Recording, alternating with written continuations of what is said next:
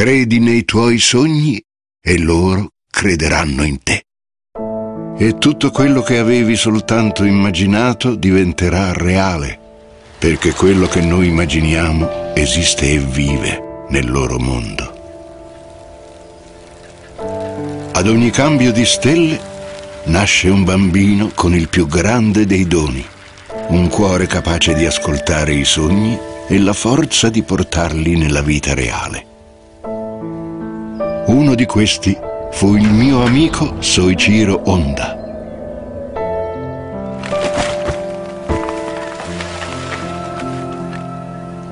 Quando era ragazzo riparava biciclette, aiutava il padre in officina. Nacque a Komio, un paesino nel cuore del Giappone, nel 1906. Era un gran lavoratore e allo stesso tempo un disegnatore ed un abile progettista. Aveva un piccolo studio dove perfezionava le sue idee e approfondiva le sue intuizioni. Amavamo fare lunghe corse in sella alle nostre bici, veloci come il vento. Soichiro Honda e Takeo Fujisawa eravamo due grandi amici. Soichiro era un artista, un anticonformista. Riusciva a coinvolgerti nei suoi progetti, nelle sue imprese. Grazie alla sua ambizione, alla sua tenacia, alla sua gioia di creare, affascinava tutti, anche me.